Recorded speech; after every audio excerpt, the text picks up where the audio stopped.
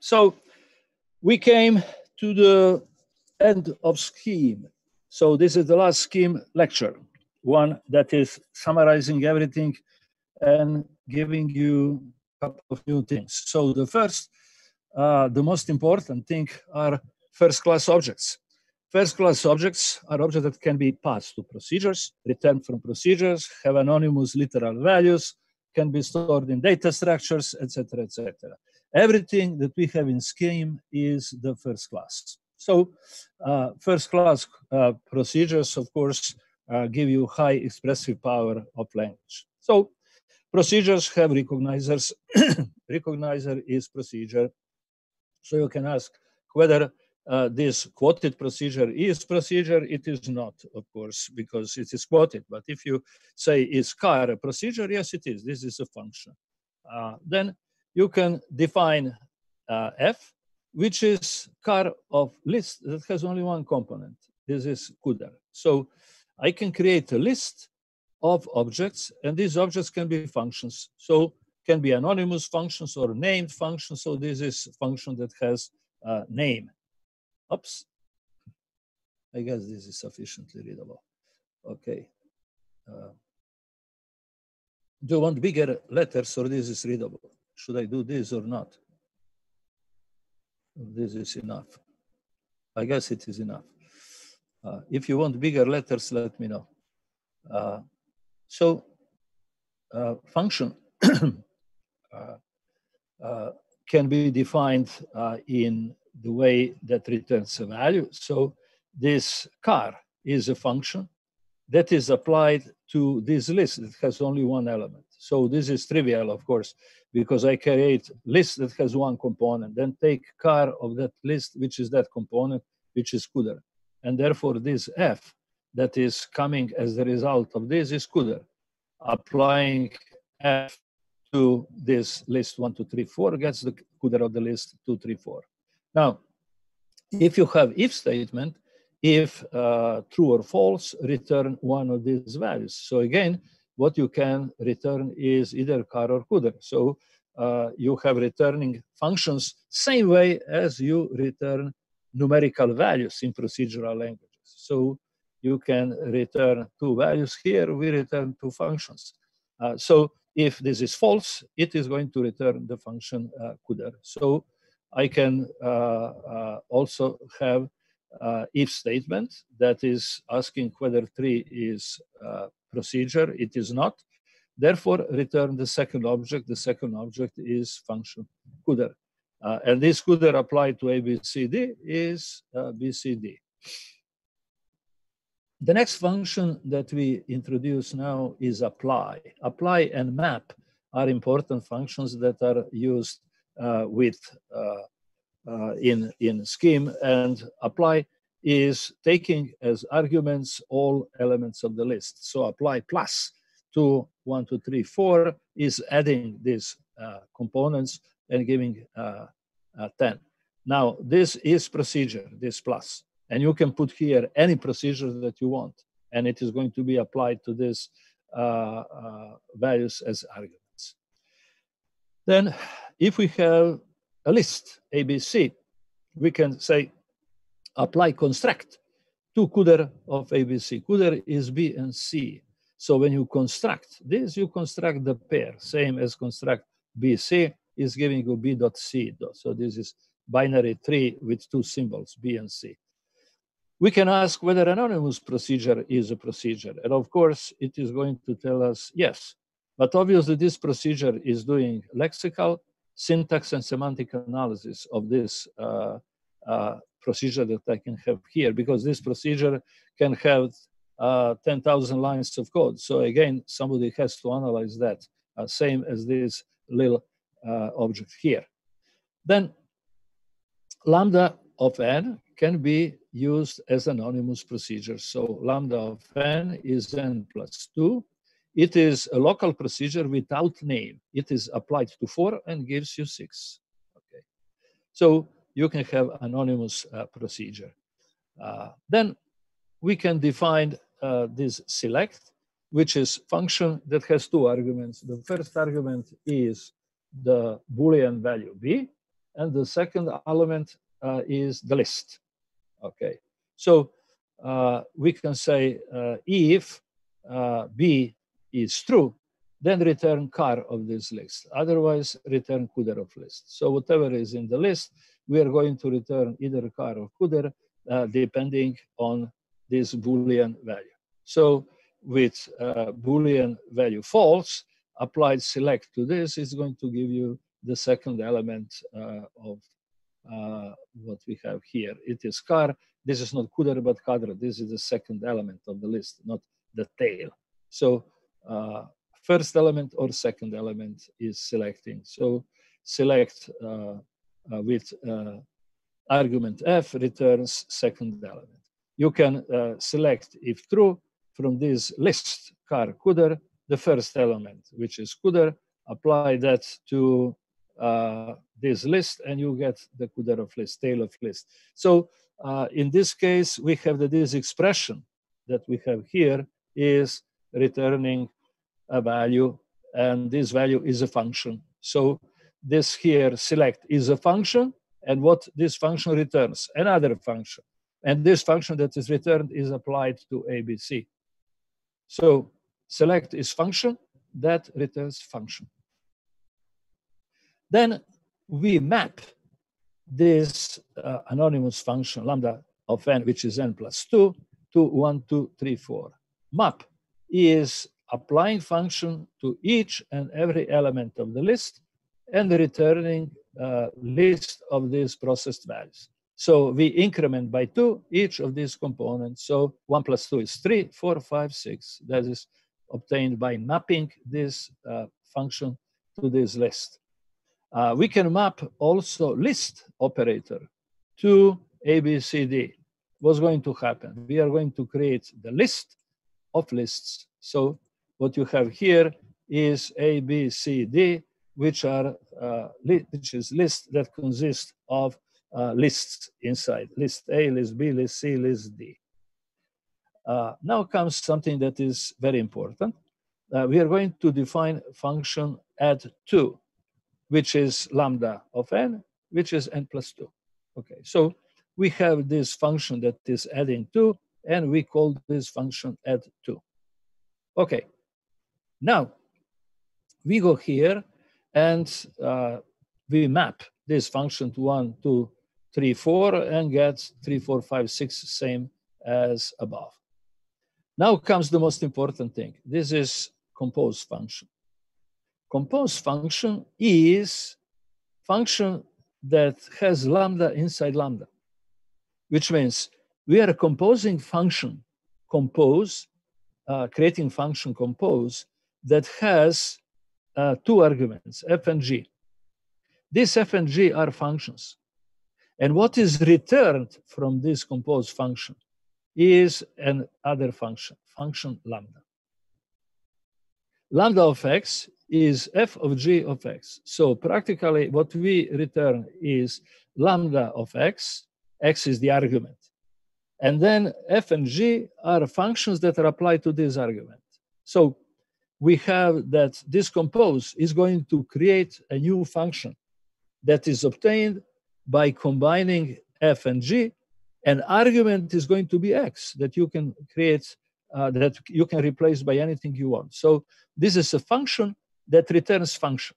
It returns lambda of x, which is f of g of x. So that is what is going to be returned. So if I say compose add 2 and add 2, what's going to happen now? We are going to get add 4, which is add 2, plus add 2, so it is 2 plus 2, 4. And we practically create a new function by composing this function add2. So define add4 as combination of these two functions. So uh, the compose program has two arguments, add2 and add2. And each of these arguments is a function. And this is our function that we defined here. So we are combining these two functions and compose returns a third function. And this third function is now called add4. So if I apply add4 to 5, I get 9, of course, because it is adding uh, twice. But pay attention that this add four is obtained by combining two previous functions, add2 and add2. Of course, this can go to any depth and any number of functions that are uh, uh, combined, but uh, like I said, it is important that you have the possibility to have functions that are both input and output of this function. So compose is having two inputs that are functions and returning as a result function of x, lambda of x. So this is something that is completely new. You don't have something like that in procedural languages. You cannot combine two functions to get the third function and to have any kind of combination of that in order to create functions of higher complexity. So uh, you can now compose car and CDR if you want. Uh, composing car and CDR is giving car of CDR. Car of CDR is second element in the list. So this is the way how CUDER is made. Uh, so uh, it returns B, the second element. It is here. Uh, you can also map this function f uh, uh, function of f to this list of functions.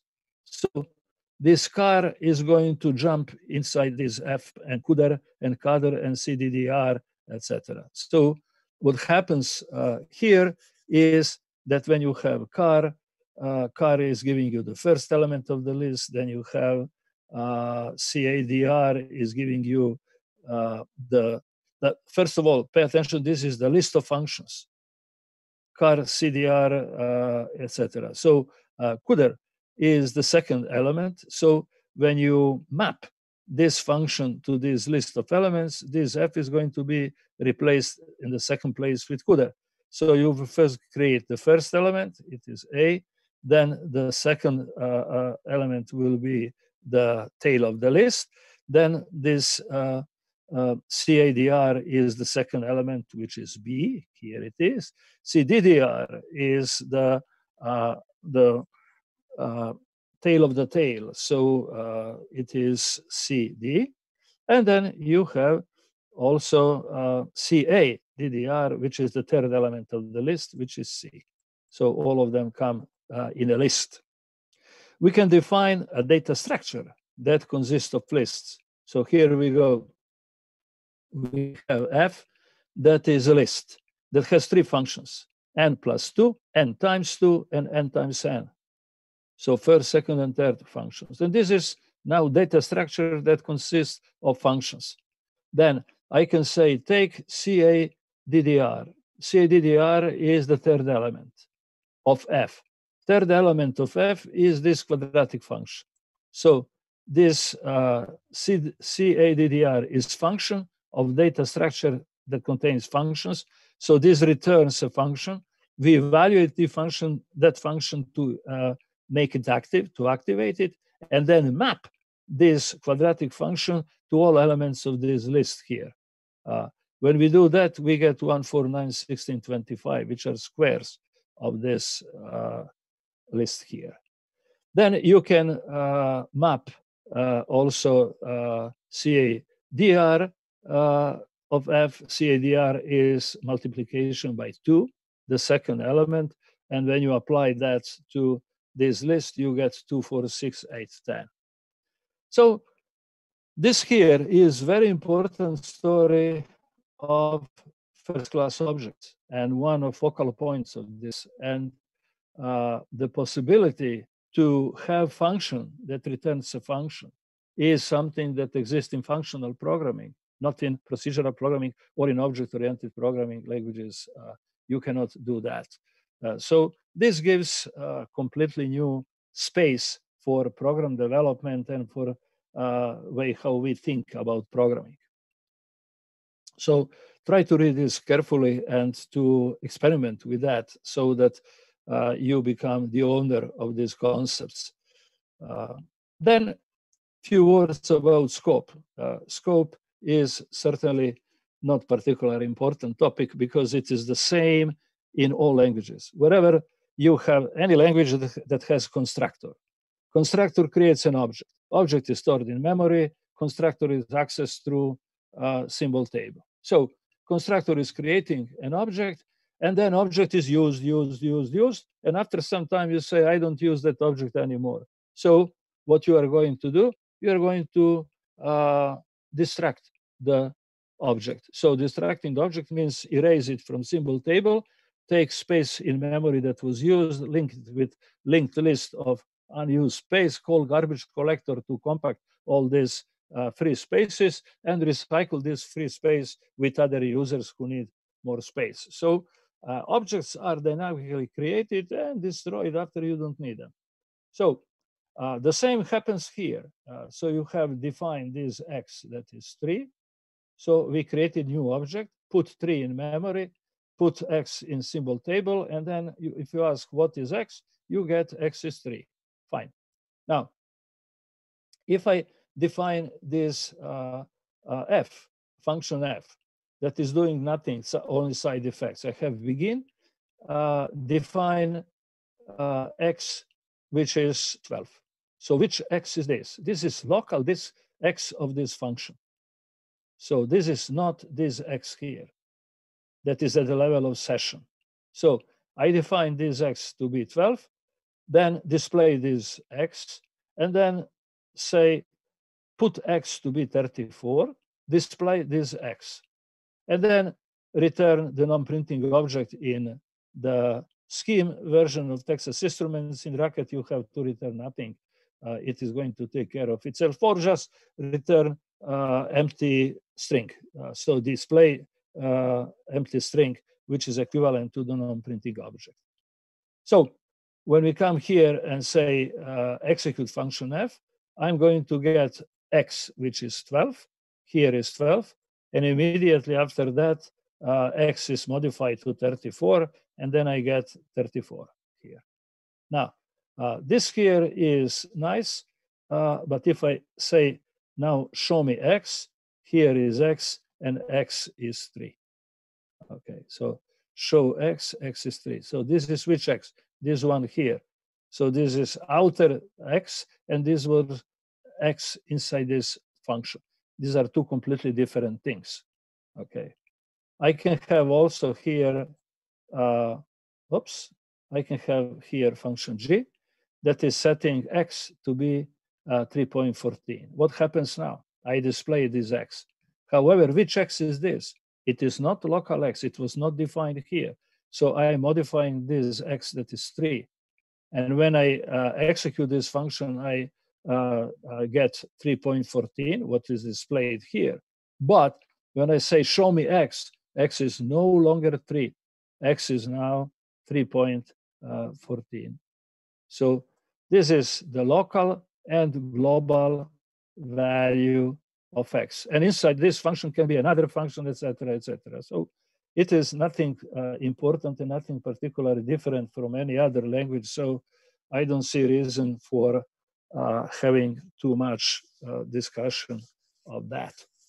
Now, region and scope is telling you the same thing. You are creating new objects like 2 equals 1 plus 1, and 3 is 1 plus 2, and uh, 2 times 3. So these are all let scope. Uh, if you define 1, then you create 2 and 3 and uh, functions with them, and then uh, this 1 is here, but two is just inside let scope. So uh, this is the region of uh, these variables that are defined here. Two is defined as variable inside this let scope, but not outside of it.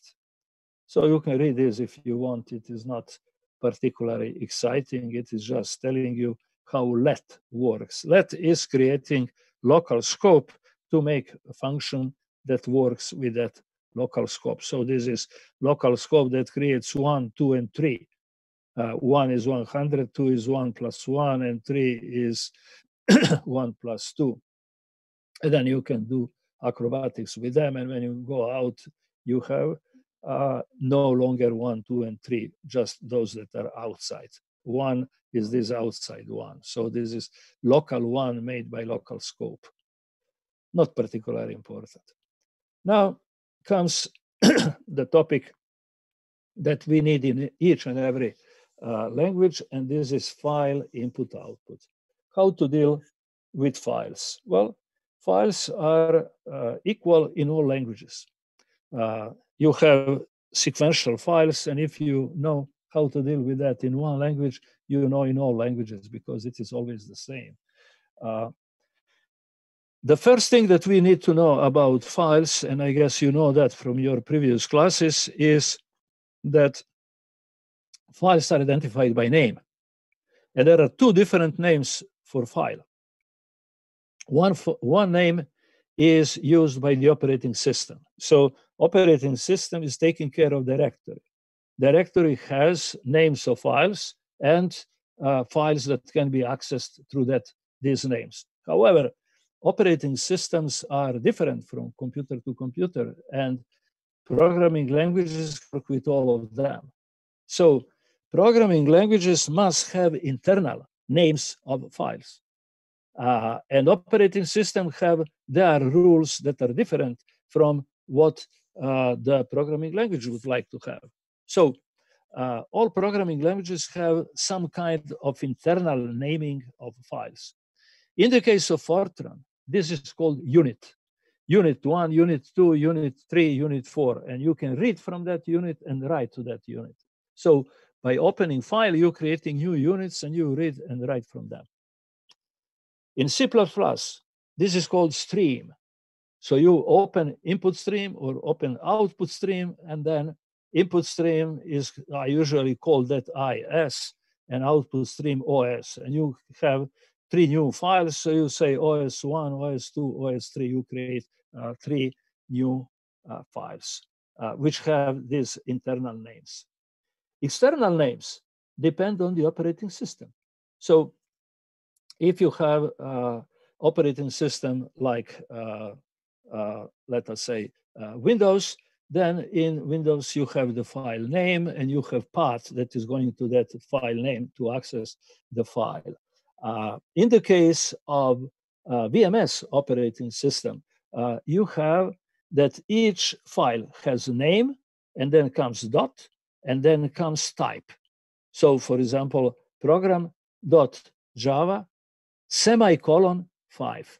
This is the version of the program because when you modify that program, it will increase the version. So whenever you save the program, it says this is new version of the program and it is creating new version so that you have history of what you have done before.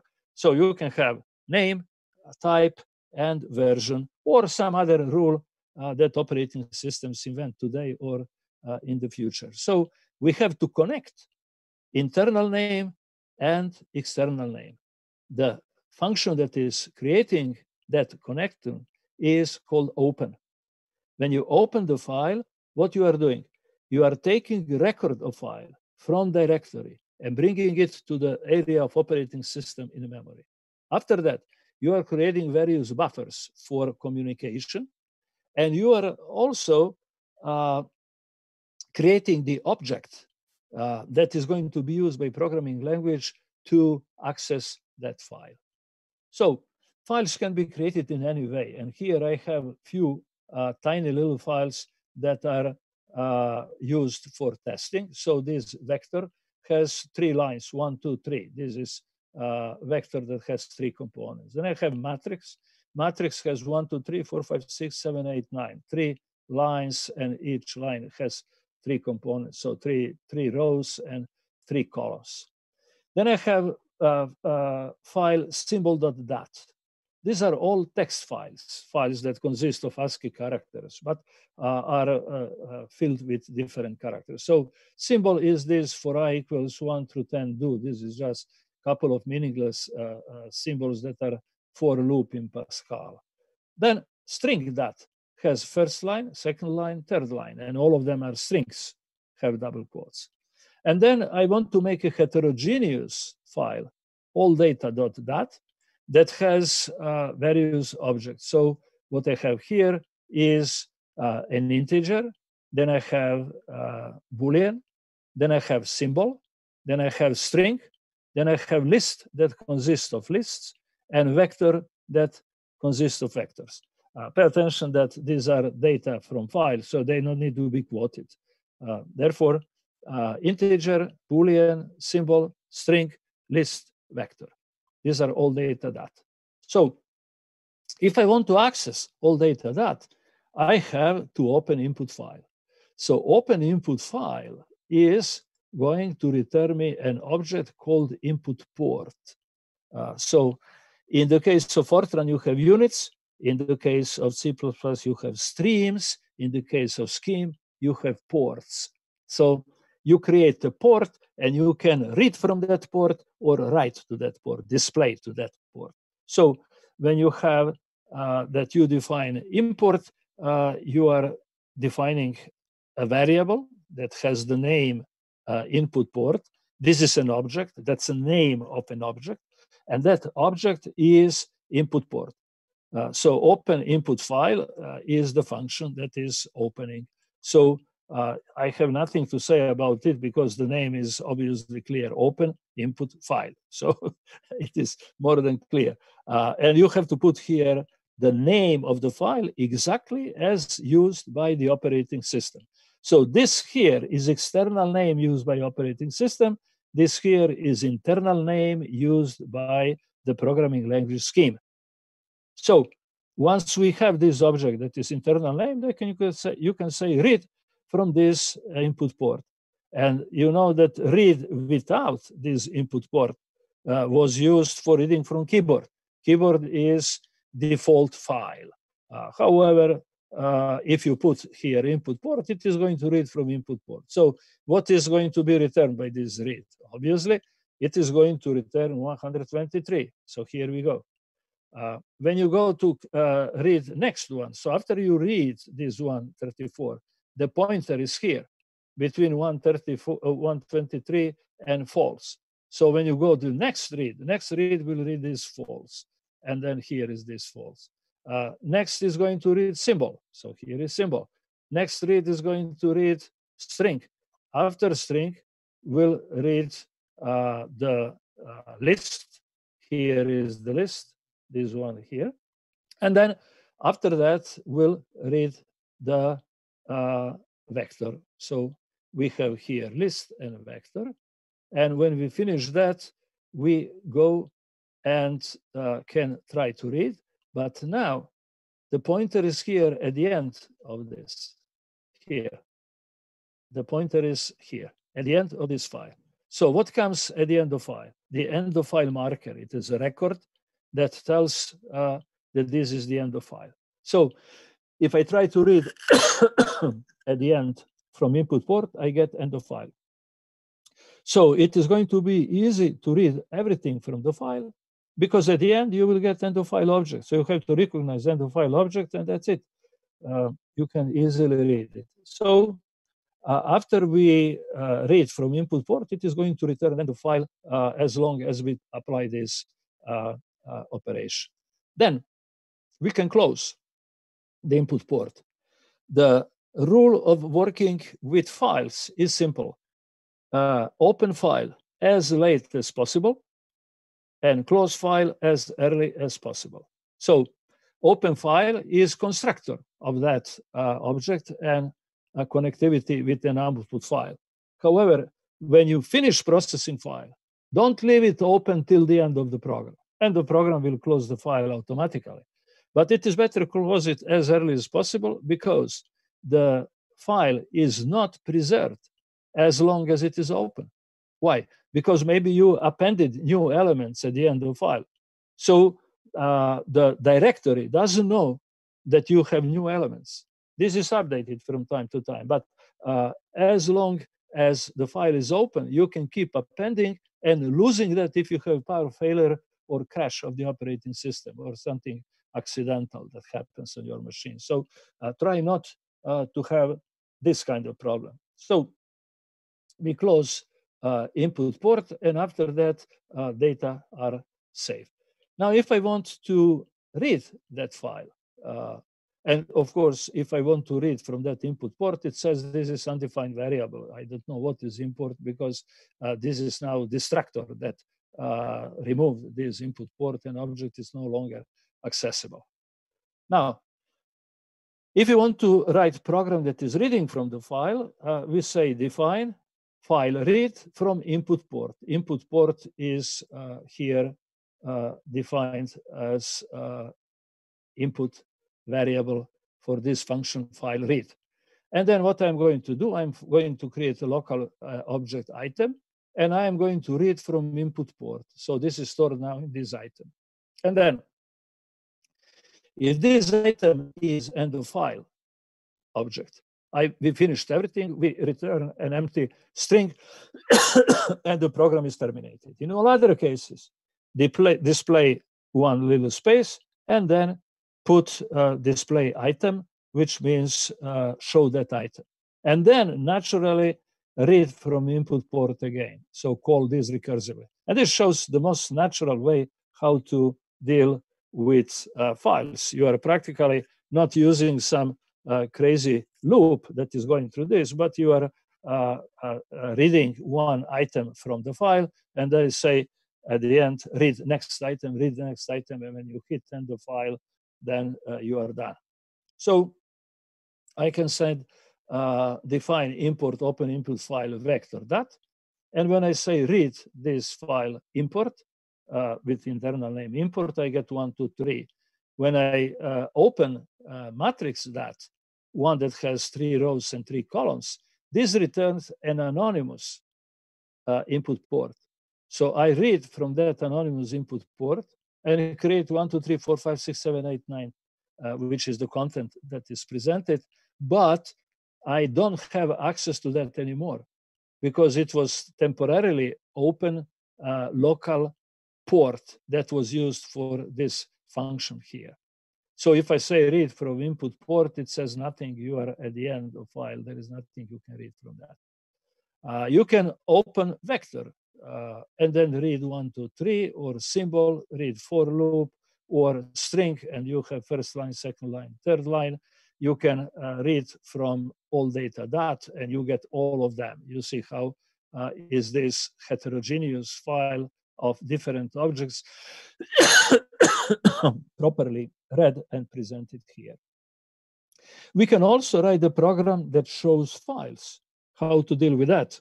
Well, uh, the program that shows files is the program that is uh, uh, having uh, first uh, uh, the name of the program and then the argument, which is now external file name.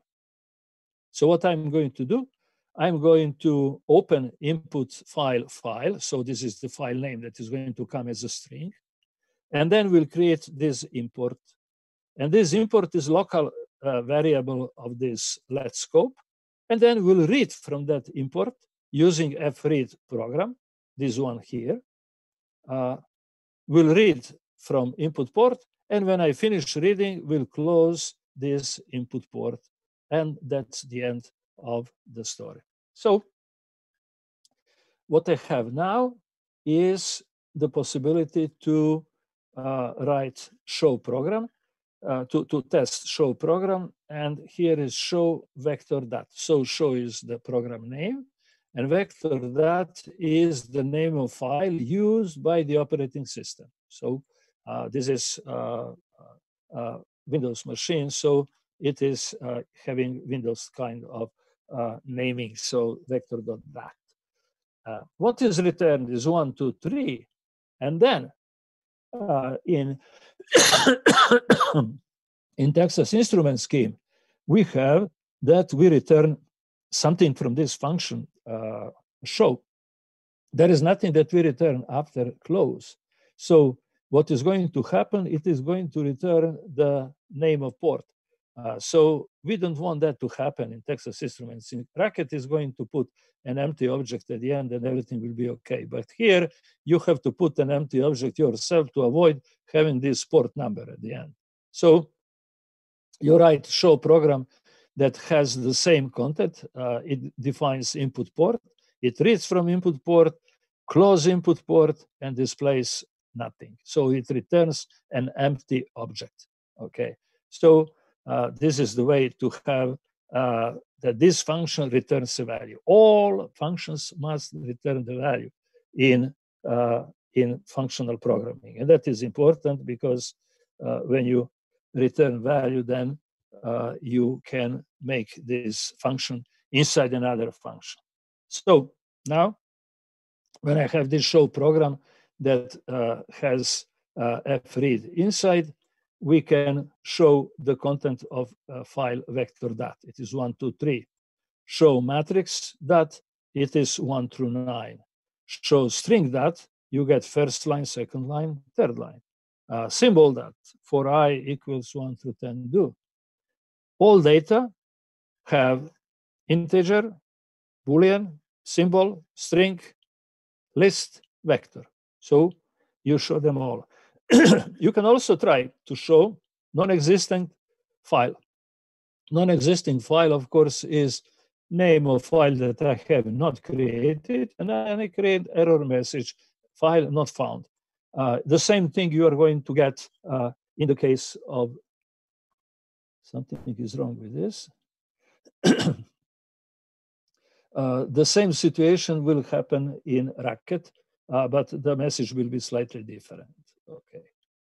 Uh, so uh, you can also try to show uh, an integer, and this is not going to work because this is not uh, a valid uh, port number. Now, how to copy files? To copy file, we can copy either from one port to another port or file to file. So uh, what we have as a new thing is that we are going to have open uh, output port. So uh, we will have to open output port to write on that output port. So uh, uh we are going to do that uh, later. At this moment, imagine that we have input port and output port that is given. So this program here called file input output is procedure port copy that is copying from one port to another port. So what I do inside, I create this item that is a local variable obtained by reading from input port. Then I'm going to ask, is this maybe end of file? if it is end of file item, then I put a new line to output port, put one new line uh, in the output file and close output port output. So close the file. Uh, it is done. Uh, on the other hand, I have to also close input port, import, and then return an empty string. So this is the end of uh, program. If it is not end of file object, then we are going to display this uh, string that has one character to output, to display item to output, and they say port copy from input port to output port, which means continue the same situation uh, again. Uh, so uh, make this uh, for the second time. And this is, of course, recursive call of this port copy program. So you are copying one item and then you are copying other items after the first one. Okay, now how to copy files? Well, use this for copy, but open files for input and output. So what we come here, uh, what we have here is this lambda of uh, input file and output file. We have these two files, and then we have uh, let scope. In this let scope, I'm defining input port, uh, which is obtained by opening input file in file. So in file is uh, name of file. I'm opening that, creating port, calling uh, that import. So this is input port. Now we create the new port, output port, which is open output file out file. Now, open output file is destructive uh, operation. Whenever you open file for output, you are uh, having two possibilities. Either you open it for appending or you open it by putting uh, pointer to the beginning. When we put pointer to the beginning, then we are opening this for writing. And therefore, I call program port copy from input port to output port, and then uh, display file copy completed at the end.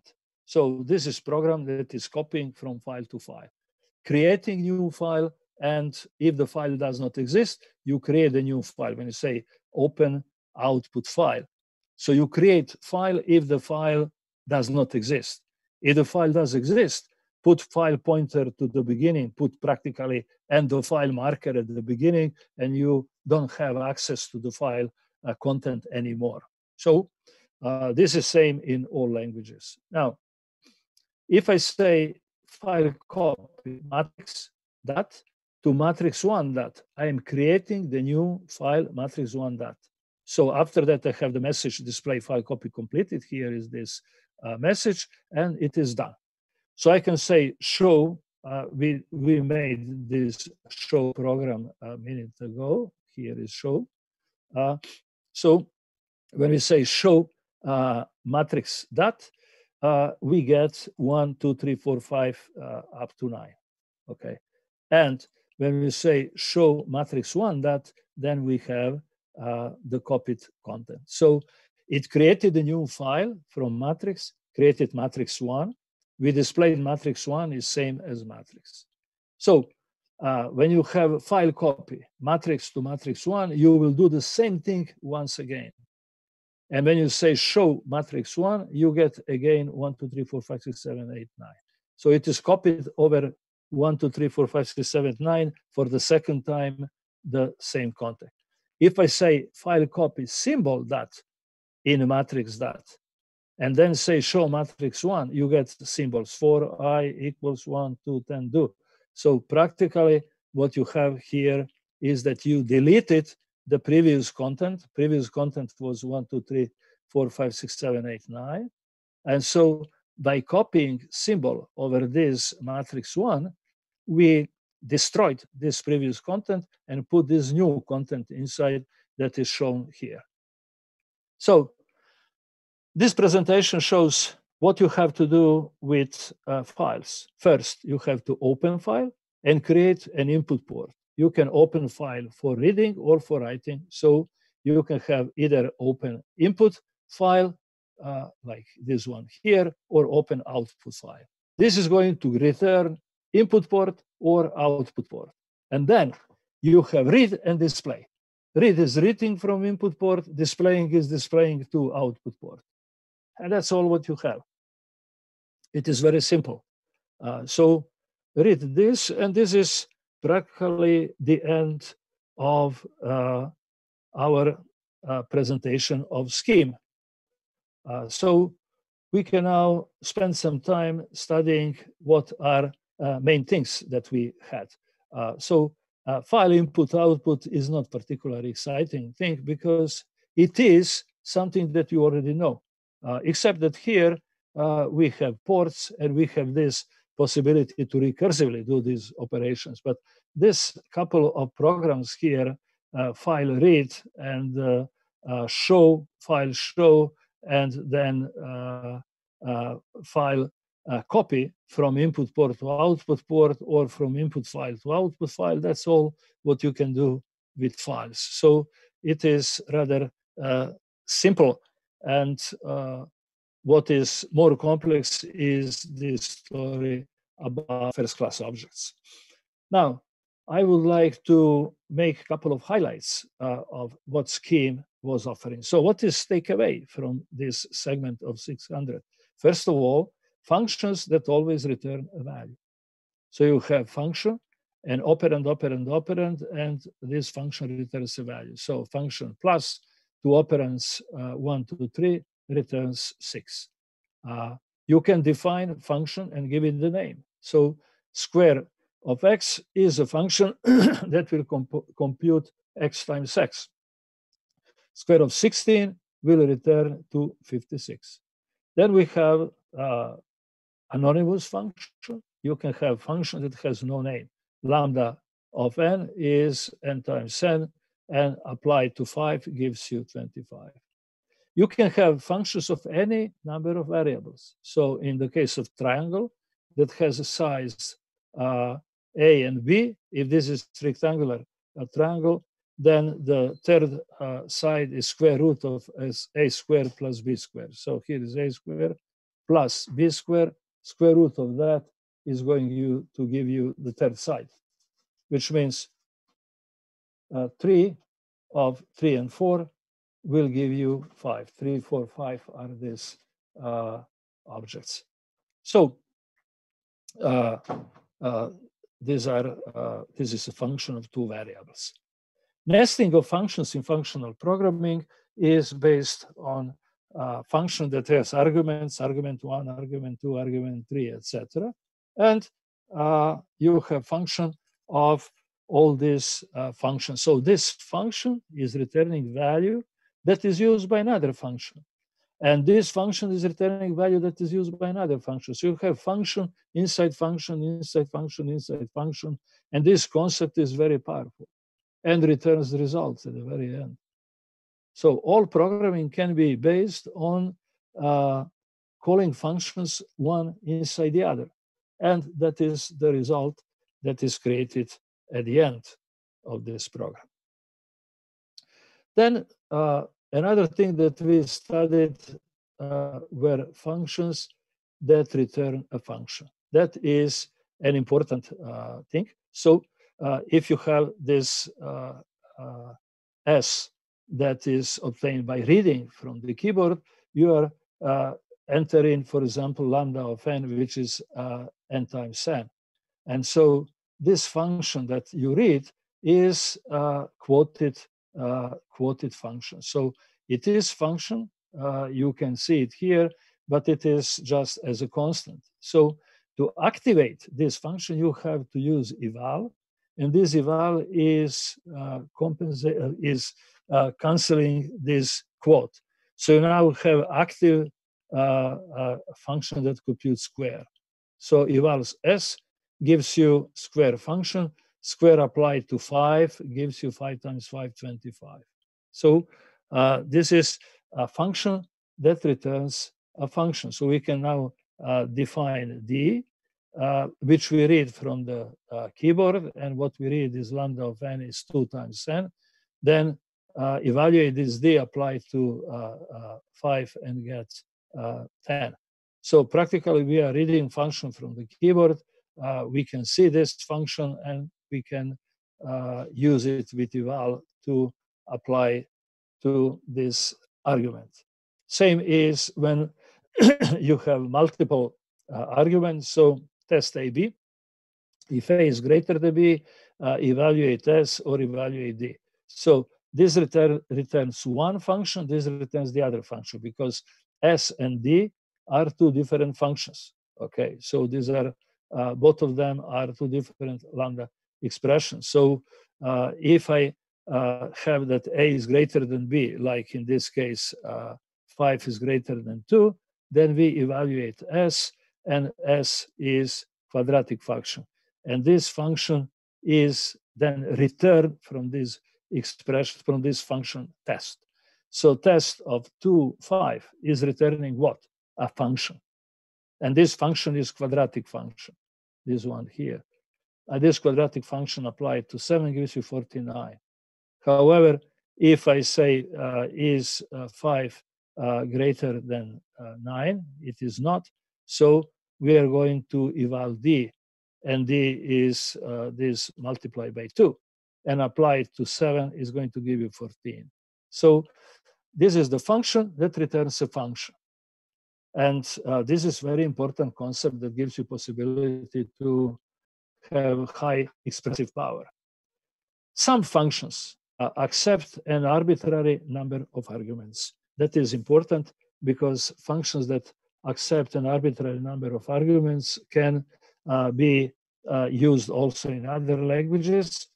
And this is something that C does not permit, for example. You can have uh, not arbitrary number of arguments, but a fixed number of arguments. An argument can be a vector or matrix or pointer that is accessing something, but it is always uh, a single object, not an arbitrary number of objects. So a function that accepts arbitrary number of arguments, you can have function that processes list. So if list is empty, return zero. Otherwise, uh, add uh, the uh, head of list with sum of the tail. And so when you say add components one, two, three, uh, four, you are going to get uh, the result 10, which is 1 plus 2 plus 3 plus 4. Now, we want to apply that not as a list, but as arguments that come after the function name. So we define S list with this dot. Dot means that arguments that are in this uh, list of arguments are going to be packed inside a list. And then it will create list that has one, two, three, four. So one, two, three, four. I'll take them from here, put in this list X. And then this program sum list will process this uh, list X. And you will going to get this. But when you look as a user, you, you have sum list of one, two, three, four, where the number of arguments can be arbitrary. You can have one or two or three or 300 of them will work the same way. So another alternative way to do that is to write function that has uh, lambda expression without parentheses around uh, this x. So x has no parentheses, and therefore you have that this is lambda expression with arbitrary number of arguments. So when you say uh, sum list, uh, one, two, three, four, it is going to take this, we'll put that in the list, and then we'll call the function of these arguments, this sum list here. And then this is function with arbitrary number of arguments. Some arguments can be mandatory and some of them are optional. Uh, so uh, mandatory arguments are written left in lambda expression left of dot and uh, optional are written after uh, dot. So if you have, say, mean value, uh, if you have uh, x and y, then this here is mandatory and y is optional. So you can compute mean value. Uh, if you have mean value of one, you get one, but if you have mean without arguments, you have to have at least one. So it says arity mismatch. Uh, so uh, these are functions with mandatory and optional arguments composed functions are extremely important thing because they uh, show how to make complex functions by combining uh, simpler functions. So this lambda of fg that combines f uh, of g of x is returning this lambda expression, lambda of x. This is what is returned. So uh, I can compose logarithm and exponential function in order to find the uh, the answer to question whether this algorithm, logarithm is uh, natural logarithm or this is the uh, decimal logarithm. And this one, of course, is natural because uh, if I take logarithm of exponential of 123, I get the same 123. So these are two inverse functions that are composed here. I can compose log of logarithm exponent in opposite direction. Well, if I apply that to 1, 2, 3, 4, 5, 6, it should return 1, 2, 3, 4, 5, 6.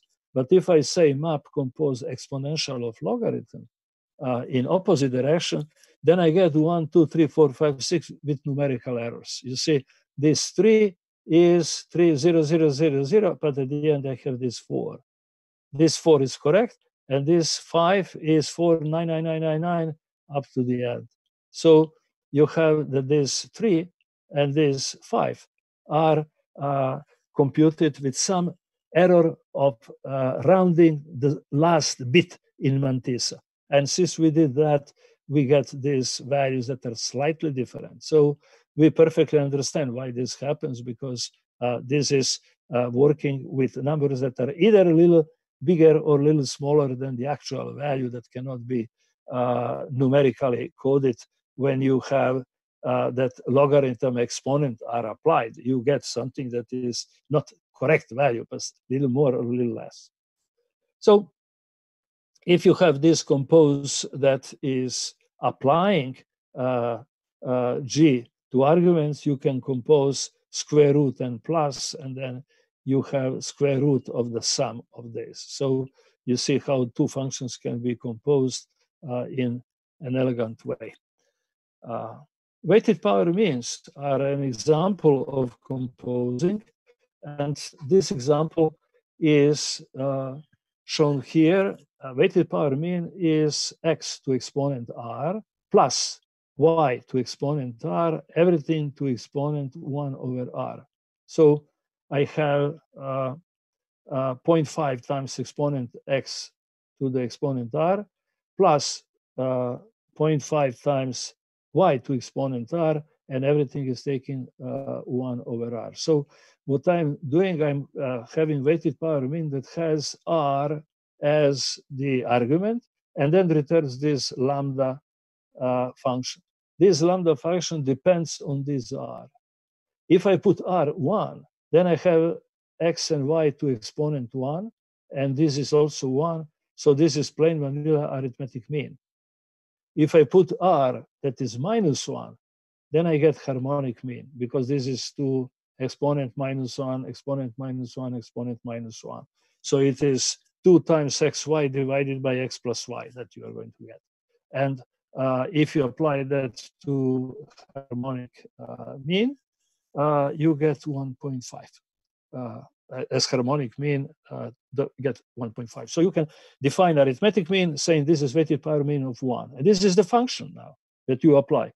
Create the next function, harmonic mean, as weighted power mean of minus 1, and you get harmonic mean that you apply to whatever you want.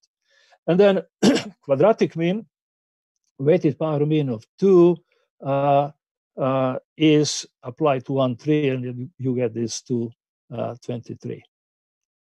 So uh, this is the way how this works. Uh, you can define uh, geometric mean as weighted power mean of zero. so if i is zero, you return geometric mean, otherwise you return this here. And this works the same way. So let us make a summary of what we have learned in scheme. First, scheme uses a small number of powerful basic concepts. Concept of list is extremely powerful, and uh, syntax is based on list. Operator, operand, operand, operand. So this is the fundamental set of small, powerful objects. Everything is first class. So everything that you have, functions are first class, uh, uh, numbers are first class, everything is first class in uh, scheme. Uh, easily uh, is uh, writing recursive programs based on tail recursion. So everything that is natural, repetitive can be done in simple recursive way. You don't need to use these ugly loops with indices and incrementing, etc. But if you want, there is the loop, you can use it, no problem with that. So uh, easy writing recursive programs based on tail recursion. Then we have nested functions, function of function of function of function, one inside the other. So that is another fundamental thing that we have in scheme. Each control structure returns a value. You are not having that in procedural programming. Uh, uh, you have that in functional programming. Of course, in Ruby, each control structure is returning value, but this is a language that is multi-paradigm and uh, is returning something from if statement and from case, etc. Uh, if you have a language like C, in C you return uh, nothing from if statement. If statement is used to make side effects. And you can do whatever you want if if branch and then branch, but these are side effects. These are not uh, the values that we return. Now, uh, each control structure is returning the value, no side effects, and there is use of anonymous function. So lambda expression is anonymous function.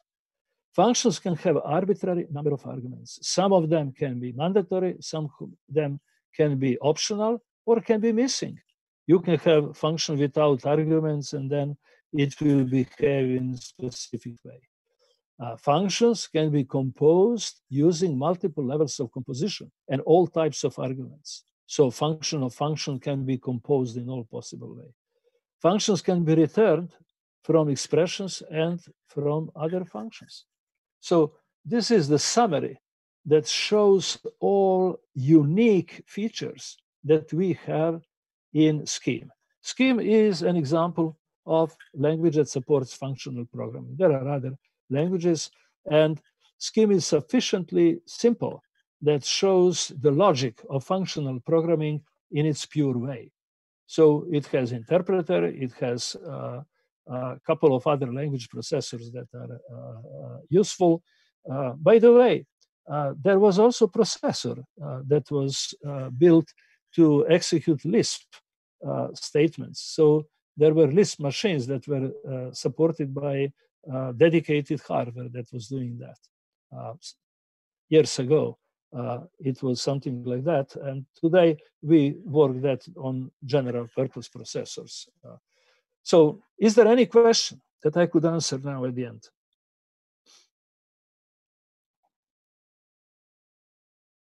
Any question related to scheme, related to exam, related to homework, related to anything?